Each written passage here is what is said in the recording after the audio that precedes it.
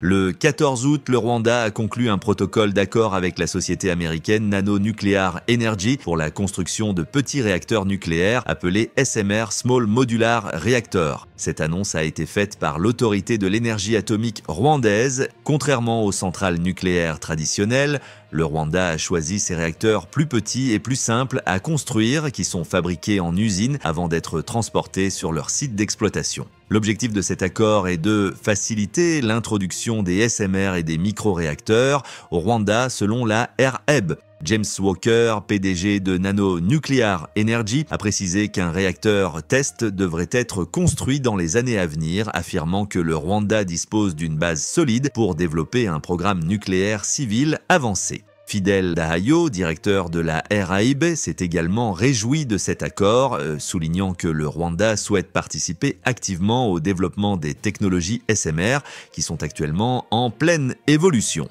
Avec une population de 13 millions d'habitants, le Rwanda génère plus de la moitié de son électricité, 51%, à partir de sources thermiques, suivi de l'hydroélectricité, 43,9%, et du solaire, 4,2%. En septembre 2023, Kigali avait déjà signé un accord avec la start-up germano-canadienne Dual Fluid Energy pour la construction d'un réacteur nucléaire civil expérimental. De plus, en 2019, le Rwanda avait conclu un accord avec l'agence fédérale russe de l'énergie atomique Rosatom pour la construction de centrales nucléaires, bien que cet accord ait suscité des inquiétudes en matière de sécurité. À ce jour, l'Afrique du Sud reste le seul pays africain à disposer d'un programme nucléaire civil avec deux réacteurs en service depuis plus de 30 ans.